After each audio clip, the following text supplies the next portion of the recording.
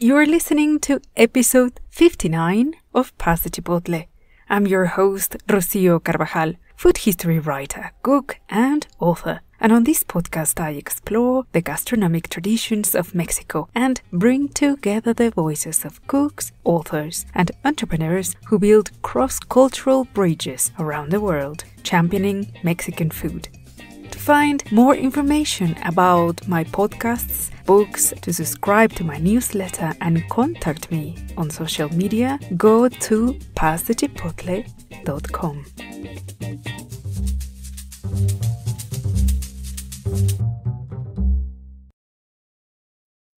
Many are the agricultural exports of Mexico that have traveled far and wide around the world, and many of them ended up at the center of many social, cultural, economic, and culinary tales. Mm, think of the rule of tomatoes in Italian cuisine, the large scale corn production in England that prompted the construction of corn exchanges around the country and how beans became a quintessential part of many African cuisines, and what to say of Chile's role in shaping the very gastronomic identity of South Asia.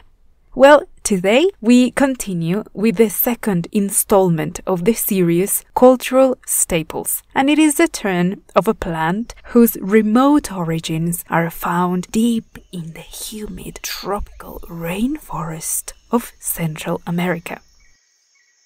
And while this plant had a humble beginning, it indeed was destined to become the world's most desired commodity of all time. Yes, I am talking about cocoa. And such is the cultural value of cocoa that it is not surprise that its history is equally rich and complex. In fact, I decided to explore this product not in one but two episodes. So today I will tell you about its origins, botanical aspects, and how important it was for ancient indigenous cultures and its transition into the Spanish colonial period. Behind this episode, as usual, there is a whole lot of research, which is complemented with some excerpts from my ebook Mexican Chocolate. There is, of course, an accompanying reading list with fantastic books to help you continue exploring more on this subject, and you can find them in a special blog post available on my website, passthechipotle.com. And I have also added plenty of visual references to the YouTube version. So, as you can see, I made sure that you can fully enjoy cocoa's history at its glorious best. So, grab some cocoa and get comfy and ready for this adventure. I hope you enjoy this episode.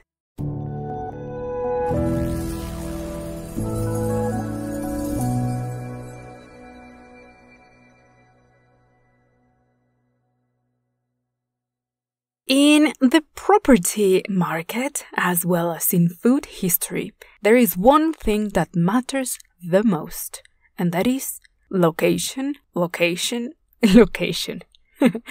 we know that the place of origin of a plant really defines the flavor of the foods and drinks that are prepared with it. It all comes down to the soil, temperature, height, minerals, and even plants that grow in the surrounding areas. We call this terroir. And if a glass of wine can take you to the sunny slopes of Tuscany's hills or the idyllic south of France, where will a bite of chocolate transport you?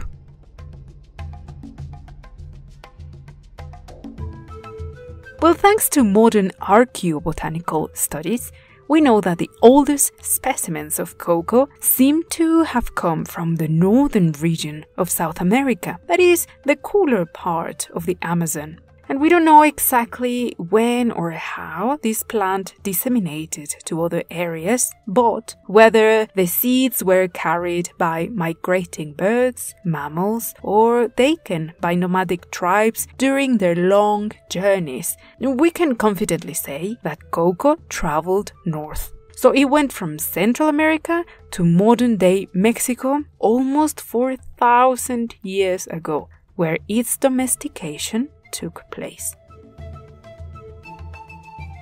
The area where cocoa naturally thrives is located right by the equator, which is an imaginary line that divides the Earth in half, separating the northern from the southern hemispheres. Now, imagine a flat world map and draw a very thick line covering the upper and lower parts of the equator. So it touches the Tropic of Cancer in the north and the Tropic of Capricorn in the south. You might notice that across the continents, this area has very similar and distinctive weather conditions, mainly due to the amount of sunlight it receives, which creates a warm and stable temperature with vibrant tropical and subtropical ecosystems. This is by far the most fertile and biodiverse area of the planet. Now, some of you might remember that in previous episodes of the show, going a couple of seasons back, I have talked about the so called coffee belt. And if you remember the description I gave about it, you will realize that I'm actually talking precisely about the same region, which also receives the name of cocoa belt because today cocoa is cultivated around the world in this area. I'm sure you are all familiar with chocolate bars, choco chips, cocoa nibs, and powdered cocoa. But can you describe the plant where cocoa actually comes from? Let me help you with that. The prodigious cocoa tree, with its pompous scientific name of Theobroma cacao, or food of the gods, as assigned by the Swedish botanist Carl Linnaeus in 1753, is a plant that shares a very unique characteristic with other similar tropical trees like papaya, jabuticaba, and jack tree. They all grow their fruits from the trunk and not from the branches.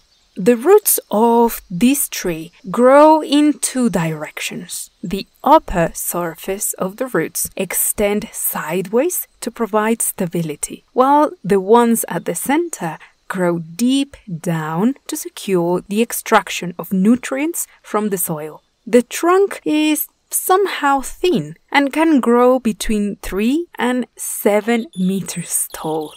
Cocoa flowers grow from the trunk and bloom protected from the heavy rains by a thick leafy canopy that grows from the branches above them. During the lifespan of a cocoa tree, it can produce up to mm-hmm, 6,000 flowers that, if pollinated, they will produce the same amount of fruits that will grow into large pods. And because of the stable tropical weather where cocoa trees live, they can yield several crops a year and can even simultaneously grow pods with varying states of ripeness.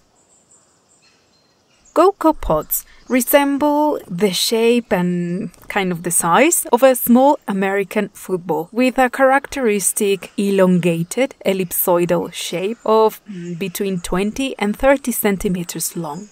The skin changes color as the fruit grows and develops a hard and leathery appearance and texture with a rind of about 2 to 3 centimeters thick. It is a very strong and heavy fruit that can weigh between mm, 450 grams to 600 grams.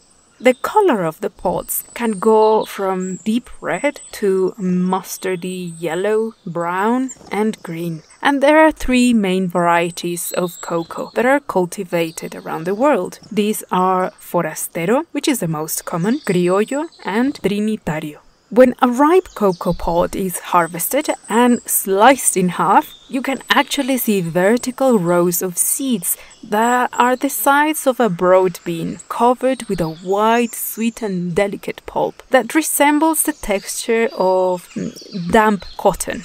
A single cocoa pod can contain up to 50 seeds. And if you think that to produce 450 grams of cocoa, you will need about 400 beans. That means you will have to harvest and open around 8 cocoa pods. At a cacao plantation, a single person can manually separate around 2,000 beans from their pods in one single working day. That is roughly 40 cocoa pods, of which 5 kilos of cocoa will be obtained.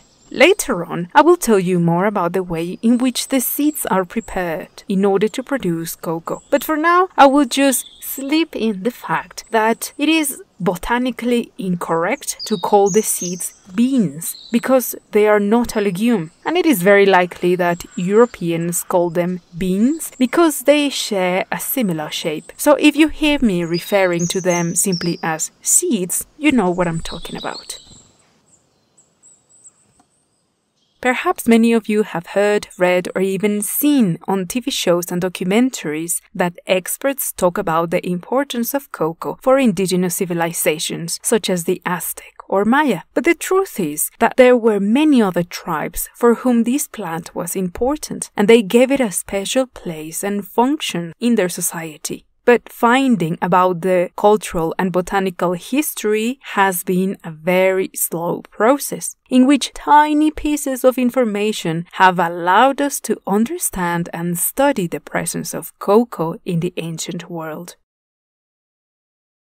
The most important sources of information about the life and history of the ancient cultures of Mesoamerica are hidden, well, in plain sight, in the stone carved inscriptions and painted stories on the walls of ancient citadels and temples. Another source are the sacred ritualistic objects, and of course, the very famous documents known as codices, which are the equivalent of ancient scrolls or books. Codices varied in size and aspect. Some were made out of animal skin, such as deer. Others had pages that were made out of barks of trees, like a book, and many were made out of a single woven sheet of cotton cloth, on which imperial scribes documented, well, many aspects of the history and life of specific places. Today, there are only about a dozen or so surviving pre Columbian codices. The vast majority of them were destroyed by burning them or other means during the aggressive cultural purges of the colonial period. And most of the codices that were preserved are now part of European collections and archives.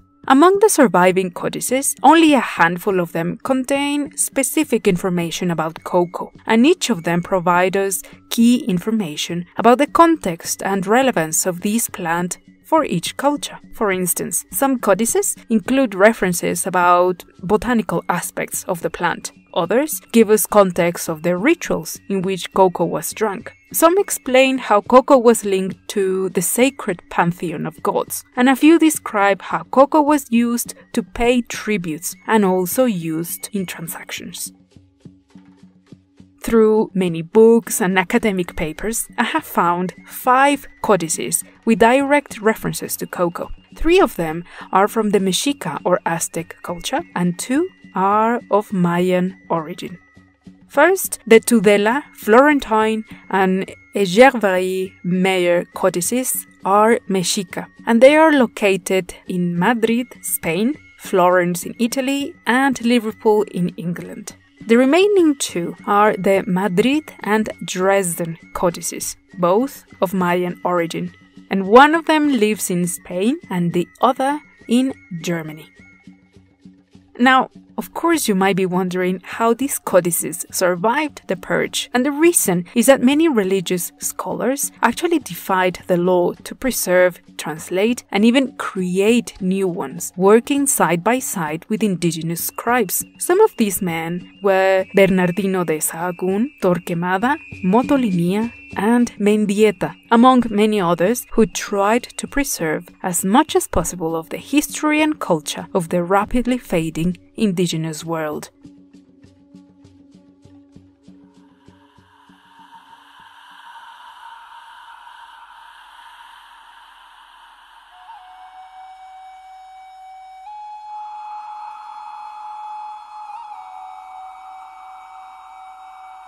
Now, something you might not know about codices, if you've never ever seen one, and I will make sure to include visual references in the YouTube version, is that the writing system used to create them is entirely different from the Latin alphabet. The ancient cultures of Mexico developed intricate systems of glyphs which represent letters or sounds, and pictograms that represented words and groups of words. Using a combination of both, the scribes were able to document historical events, describe religious ceremonies, and many, many other aspects of everyday life.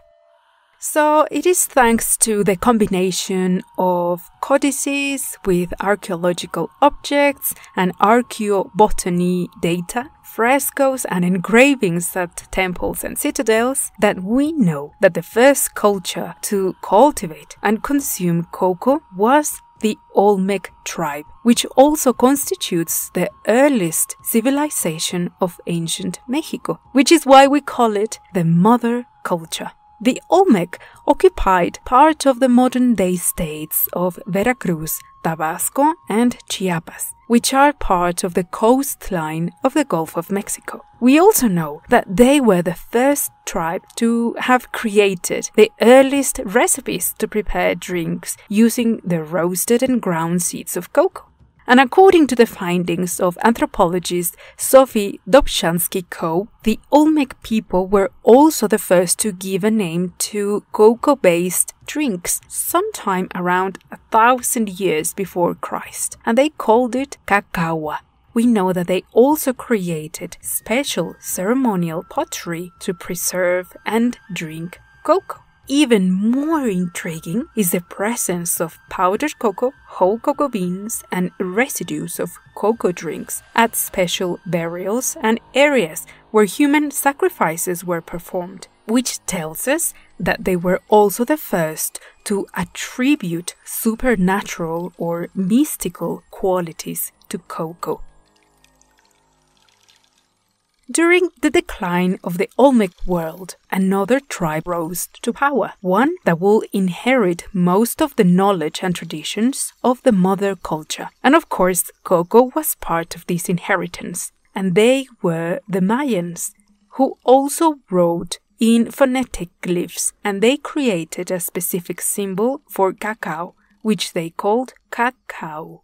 The Maya extended a bit further south towards Central America, where the cultivation of cocoa became a fundamental part of their agriculture, gastronomy, and economy. And they were just very enthusiastic about consuming cocoa in different ways, mainly because of its distinctive and potent effects in the human body. We know now that cocoa seeds contain large quantities of a chemical compound called theobromine that when consumed it stimulates the central nervous system, lowering the blood pressure and relaxing the muscles. It is also a diuretic, meaning it will make you pee. It also stimulates parts of the brain that can lead to feelings of arousal and triggers the release of dopamine, which is the so called happiness hormone. So basically, cocoa operates like a drug. It makes you feel happier, relaxed, and aroused. And you can see why in the modern advertising industry, when chocolate is targeted to adults, it is invariably associated with sensuality.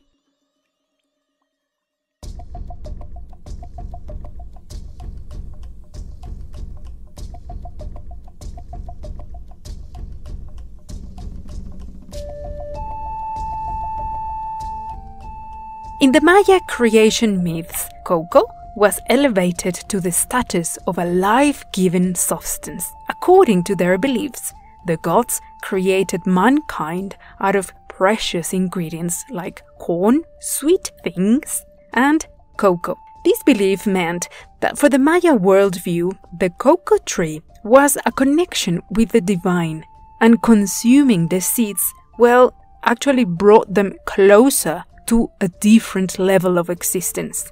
This explains why the ceremonial drink cacao was pretty much a symbolic representation of blood, and it is not surprising that the Mayans saw very fitting dyeing this drink with a paste of the crushed achiote seeds, which has a distinctive crimson red color and a slightly tangy and acidic flavor, resulting in a luscious and strong flavored blood like drink.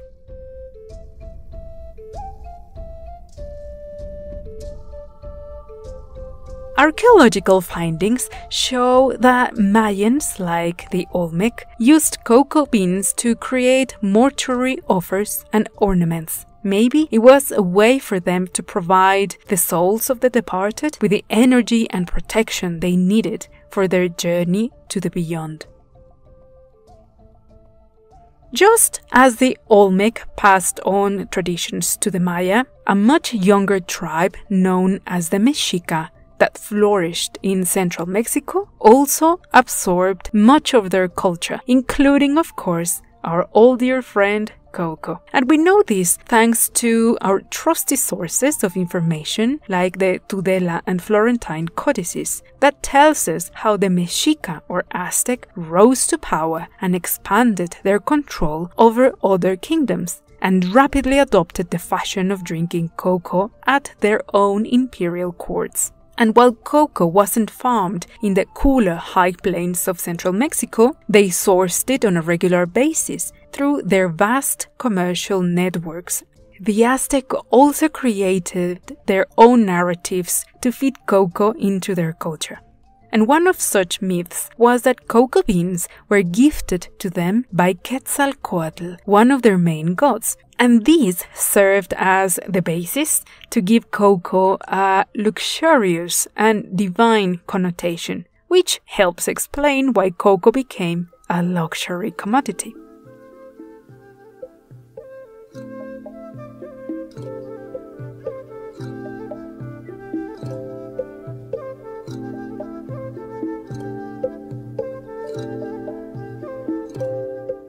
At the great pre Columbian markets, the exchange of man made products such as weapons, clothes, and tools, along with gathered fruits, vegetables, and hunted animals, were the basis for the development of primitive economic systems.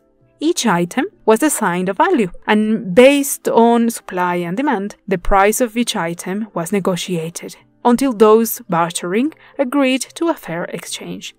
For centuries, this basic system of bartering prevailed without much change. In many other parts of the world, if you think of it, this problem was solved by the development of currency. Coins were created from precious metals, and that made a more flexible economy where goods and services could be bought and sold. However, such a system did not develop in Mesoamerica. So the indigenous cultures found a solution in the development of a proto currency, and this was cocoa beans.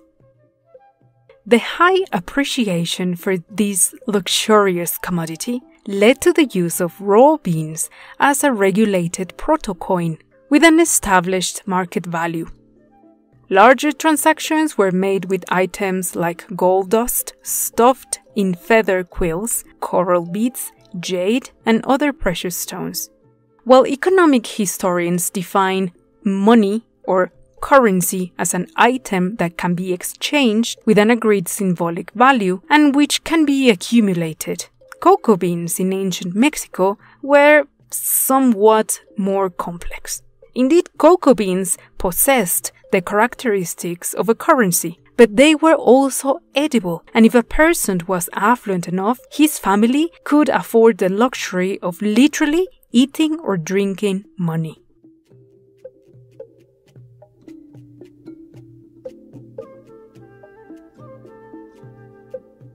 Thanks to the Florentine Codex, we know that a pochteca, or courier in the Aztec Empire could earn as much as a hundred cocoa beans a day.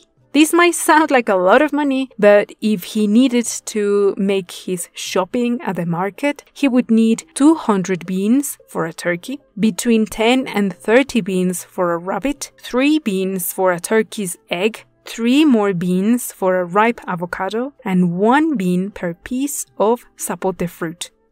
Life was expensive then as it is now.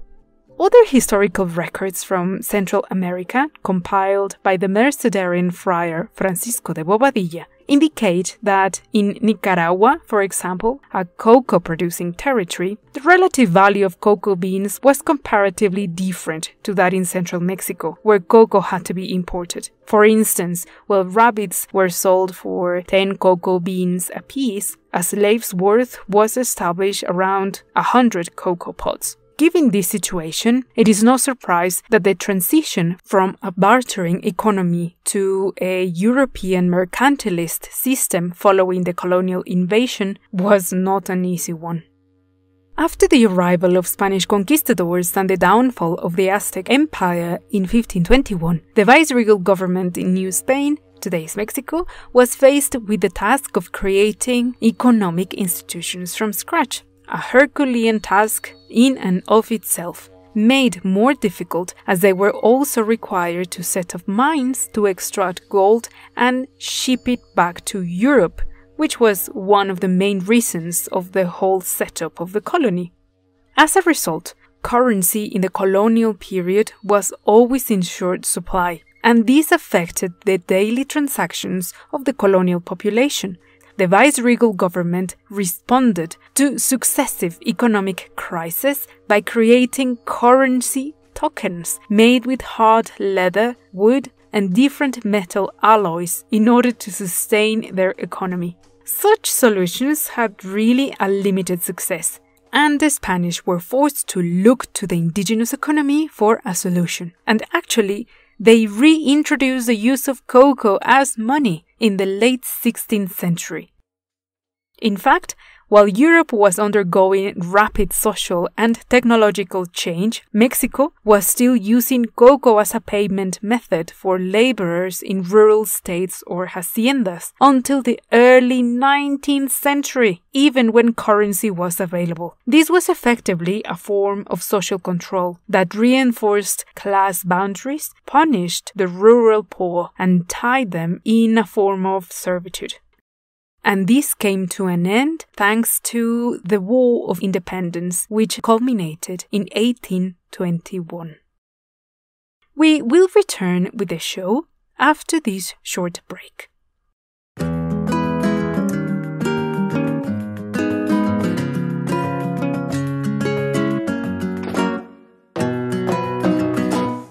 Cocoa has inspired the most extraordinary recipes around the world but its remote and fascinating origins date back to ancient times in the New World, where it was seen as a sacred ingredient and a gift from the gods. Cocoa and chocolate's association to refinement, indulgence, and decadence still resonates today. Many of us still regard it as a blissful mouthful of joy, luxury, and pleasure. My ebook Mexican Chocolate Stories and Recipes of Mexico's Greatest Gift to the World will take you to discover the fascinating origins of the world's most desired food and will inspire you to celebrate cocoa's delicious culinary possibilities. Go to passthechipotle.com forward slash publications to find more about my ebook Mexican Chocolate. Go to passthechipotle.com forward slash publications.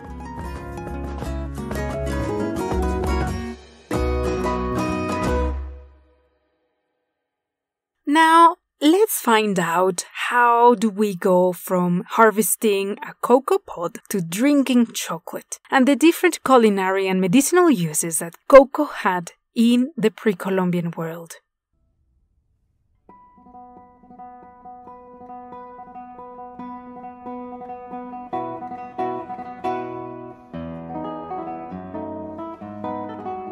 Whether you like your chocolate, bitter, sweet, milky liquid cold, baked in cakes, toasted, or powdered, it all begins with a harvest of ripe cocoa pods.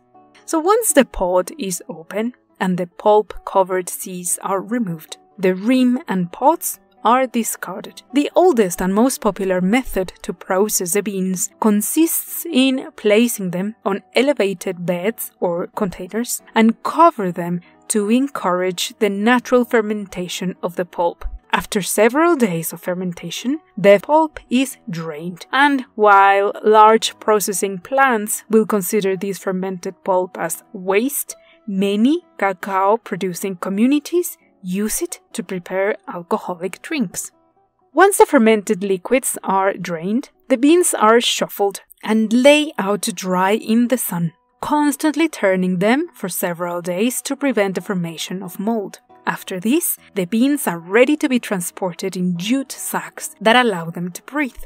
And just like coffee, this is the ideal stage to transport the beans from one continent to another without spoiling them.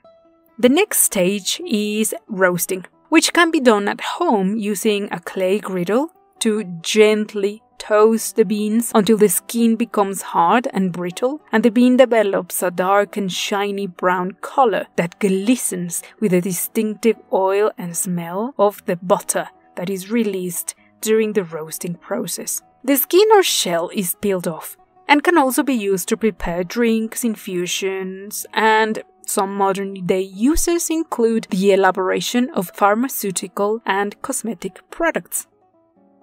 In the Mexican states of Oaxaca, Tabasco, and Chiapas, it is common to find chocolate mills where you can purchase whole raw beans and have them roasted right there. And you can even get costume made pastes and choose from a range of ingredients like almonds, sugar, and cinnamon to obtain a rich, oily, and hot paste that you can take home and use straight away to prepare drinks and other sweet and savory foods.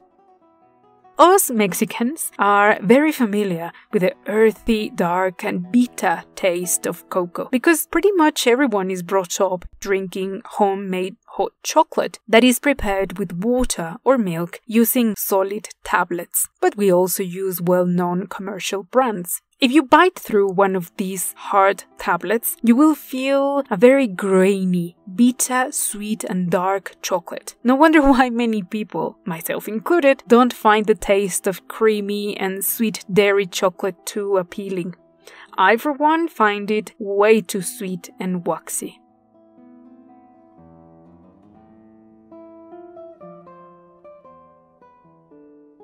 Since ancient times, the traditional method of grinding cocoa beans at home is a very straightforward process that requires of a metate grinding stone, which is made out of a single piece of carved volcanic rock, and a special metlapil, which is a thin and elongated stone that is held with both hands on either end to gently but firmly grind the beans against the metate stone in a continuous back and forth motion to ease the process, a hot piece of coal is placed underneath the metate, which warms up the stone and encourages the oils in the beans to loosen and melt.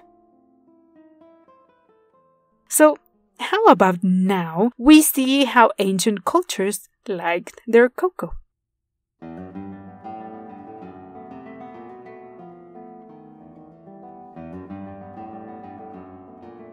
Thanks to the combined information from the Madrid and Dresden codices, along with many surviving ceremonial cylindrical vases, we know that Mayan rulers created sumptuary laws to control the consumption of cocoa among the commoners. In other words, by law they made it very expensive for poor people to be able to afford it. Drinking cacao for them was always a special event, and the preparation followed very specific ceremonial steps. For instance, cacao was decanted repeatedly to form a foam, and this was performed by beautiful ladies who were very likely royal concubines. There were many ways in which the Maya prepared drinks using cocoa. Some even used the fresh pulp, other recipes used the fermented pulp, and of course, many of them included the toasted and ground beans. Some ways to prepare a red blood like cocoa drink included the use of a achiote paste, which I mentioned earlier, but also toasted and ground chiles and toasted and ground seeds of mamey and zapote fruit, corn masa dough, vanilla, and allspice, and it was likely to be sweetened with honey or corn cane sap. Now, this certainly shows the Mayans' curiosity and willingness to explore the culinary possibilities of cocoa. As I told you earlier, the Mexica culture adopted many of the Mayan ways of preparing and using cocoa, but they adapted the recipes to their particular taste. And most notably, they ditched the use of achiote. We don't know exactly why, but maybe they found it too strong. Instead, they used many different toasted and ground chiles. The special name for a drink prepared with cocoa received the Nahuatl name of xocolatl, which combines the Nahuatl word for water and the verb that refers to froth or mix, xocolatl. But this was not the only preparation that used the paste of toasted and ground cocoa beans, because it was also used as a cooking ingredient to prepare hot and nutritious drinks that were thickened with corn masa called atole. And my favorite, they used to make nutritious snacks in the shape of balls with this cocoa paste, corn masa, seeds, and these were part of the rations of warriors during battles. Now, enjoying gastronomic sensory experiences was as important then as it is now, and the care and attention put into preparing and presenting xocolatl was very important. Because it seems that when it came to the foam of this drink, bigger was always better, which gave way to the invention of a stirring tool called molinillo, and special jars, pots, and cups in fact, drinking xocolatl as a family or community was part of important rites of passage, such as births, weddings, or funerals.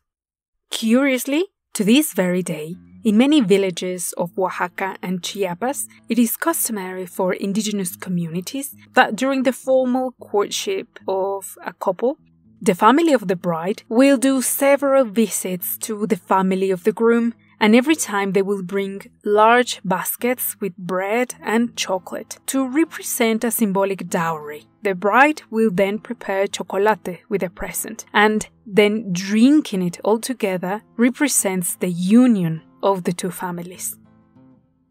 Now, let me share with you some curious and surprising medicinal uses of cocoa. I found very endearing that cocoa was used to disguise the horrific taste of certain plant based medicines. Anthropological and archaeological studies have found that ancient cultures administered cocoa to treat all kinds of common afflictions like agitation. It was an effective remedy to treat chest problems, treat liver diseases, intestinal infections, and respiratory problems, and was even used to treat fever. Cocoa ointments were also popular to treat burns, and expectant mothers will be given the fresh pulp of cocoa seeds to ease childbirth. The leaves of the cocoa tree were used to prepare infusions to clean external wounds, as they have antiseptic properties. And the solid oil or butter of cocoa was employed as a skin moisturizer and to prepare ancient cosmetics. In fact, Fray Bernardino de Sahagún registered almost 300 different medicinal uses of cocoa in the Florentine Codex.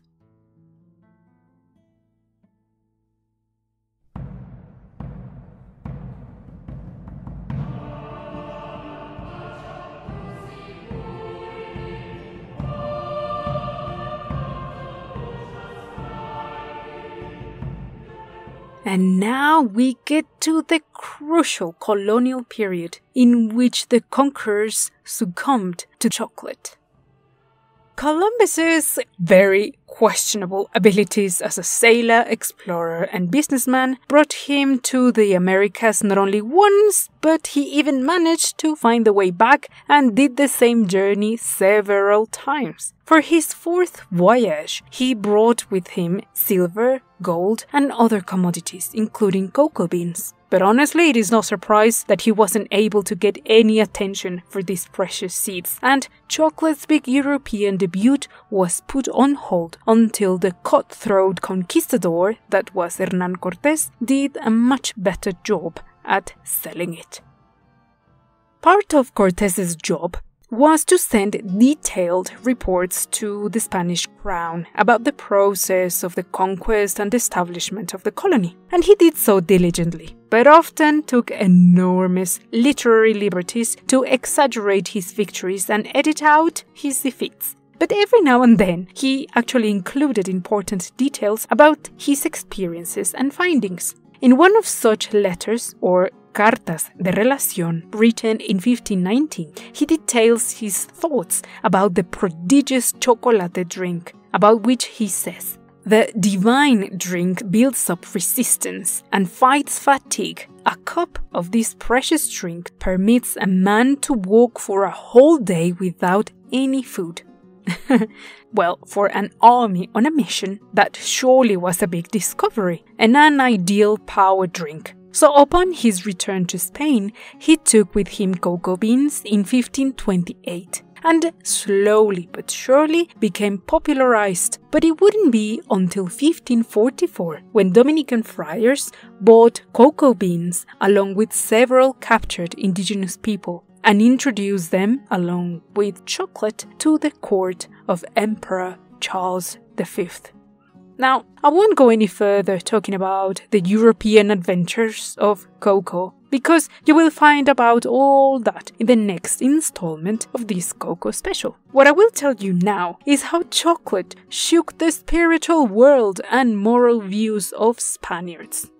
How? Well, I told you that the brutal and systematic destruction of indigenous cities and the building of Spanish urban centers occurred almost simultaneously during the first 70 years or so of the colonial period, that started in 1521. And even after the many outbreaks of smallpox and other diseases that were introduced from the Old World that killed around 3.5 million indigenous people, their presence still constituted around 44% of the total population of New Spain.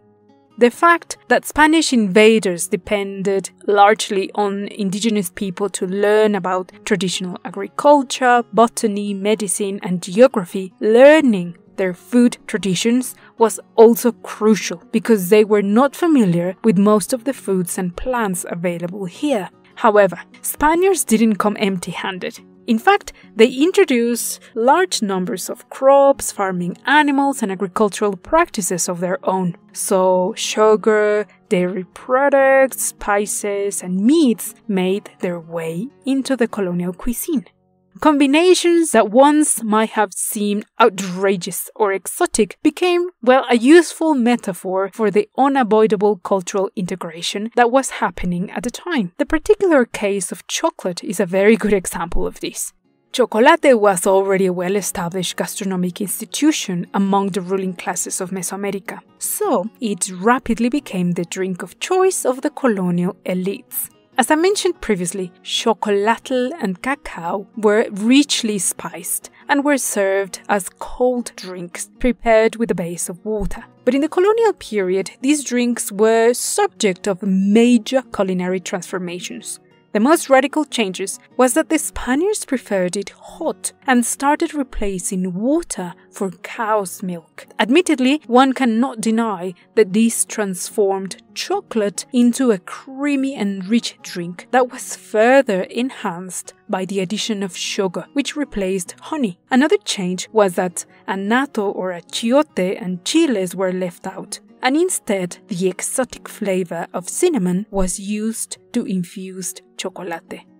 Chocolate became such a popular drink that captured the imagination and palates of nuns, friars, and monks of every order to the point of inspiring extensive philosophical and medical debates.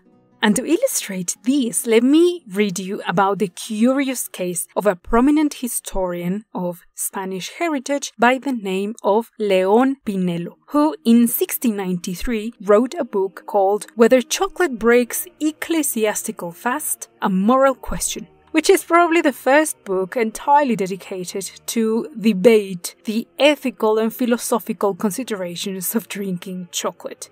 One of the conclusions of this book is that chocolate is a drink appropriate to all kinds of stomachs, so long as it is not drunk in excess now, Pinelo kind of contradicts himself because he really exalted its many virtues and found chocolate to have enormous restorative powers. And he also said that it stimulated nocturnal works, whatever that means. And further on, he highlights the benefits of drinking it regularly, encouraging people to drink a cup in the morning, another cup between 9 and 10, and another one after eating, and a last cup between 4 and 5. now that's moderation, right? Now, religion itself was integral to laying the foundations of the colonial society that would mirror that of Spain, which is why the authorities and institutions in the New World were obsessed with it. They scrutinized the simplest of actions of everyday life through a puritanical religious filter and many clergymen and religious women considered that drinking chocolate could put the salvation of their souls at peril. But why? Well, it seems that chocolate drinking presented a fundamental contradiction for religious groups who lived under strict principles of poverty, frugality, and sacrifice, and who fundamentally opposed the indulgence of those bodily pleasures, like the enjoyment of a decadent chocolate treat. I mean, let's give them that. So this meant that while very few had a strong position against chocolate, most of the religious class were forced to work very, very hard to justify its consumption because they pretty much became addicted. For instance, nuns from the nunnery of Our Lady of the Angels in Mexico City went so far as substituting entire meals with chocolate in order to fit it into their diets. And their daily rations even included a large cup of chocolate with pastries for dinner. In contrast, other orders made their novices take an oath in which they specifically swore to never ever drink chocolate or incite others to do it. The debate around chocolate reached such heights that even the then Pope Innocent IX received a document in 1591 by the famous physician Juan de Cárdenas, saying that drinking chocolate absolutely breaks the rules of fasting, as it perfectly substitutes any solid meal. Hence, it should be totally prohibited in such occasions of penitence. The city of Puebla, my hometown, had a particularly large population of cloistered nuns, friars, and monks, and their right to drink chocolate was fiercely defended by many. An example of this is the nunnery of Santa Rosa, that took the necessary precautions to obtain signed orders from its founder to ensure that the religious community should always have the economic means, equipment, and even money to pay maids to exclusively prepare chocolate.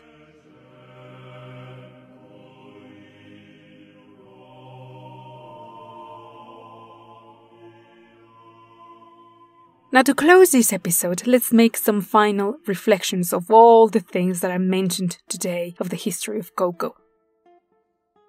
First, in spite of what the marketing industry tells us about authentic Belgian or Swiss chocolate, you now know that cocoa, in fact, is a plant that is native to the Americas, whose botanical origins can be traced to the area between Central America and the south of Mexico, sandwiched between the tropics of Capricorn and Cancer.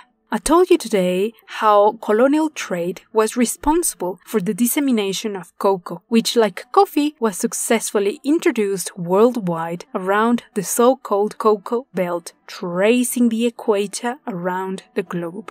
You also learned a lot about codices, which are our most precious sources of information, from where we have learned many aspects about the life of the indigenous world before the Spanish conquest. I told you that frescoes, engravings, and objects also contain valuable information about the many symbolisms that cocoa was given in different cultures. and we saw that preparing cocoa beverages was one of the many ways to use this prodigious plant, and that not only beans but also the leaves were used to prepare medicines and remedies we discovered that tracing the history of cocoa shows us how foods, traditions, and practices can be adopted from one culture to another, and each one of them will attach different meanings, adapt them to their taste and preferences, and will give them a special place in their social practices. And finally, I explained how cocoa sent shockwaves through the Spanish colonial population as they debated themselves over fighting the urge to surrender to the dangerous enjoyment of cocoa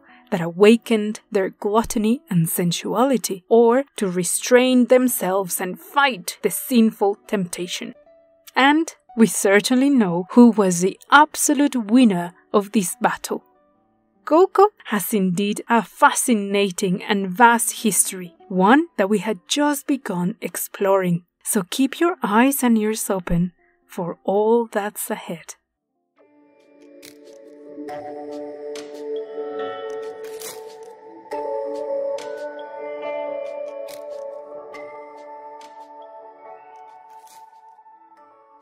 Thank you for listening to this episode of Pass the Chipotle that was written and produced by me, Rocio Carvajal.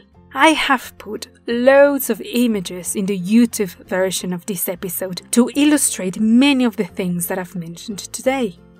Now, if you want to receive some backstage gossip, news, and information about the projects that I'm currently working on, well, you can simply subscribe to my newsletter, which is free, it comes with a welcome gift, and has absolutely zero spam. You can just go to my website, passthechipotle.com.